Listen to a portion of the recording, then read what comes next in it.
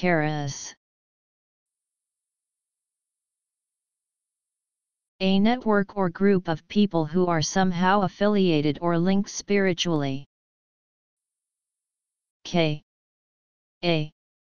R. A. S. S. Karass